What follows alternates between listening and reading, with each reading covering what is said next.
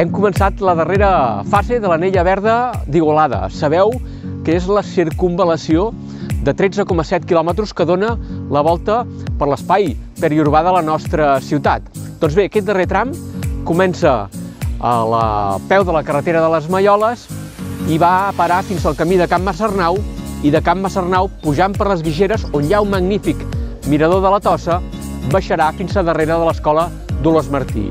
Una anella verda que fa 10 anys que es va idear i que finalment serà una realitat properament. Esperem ben aviat poder donar tota la volta d'Igolada en un espai magnífic.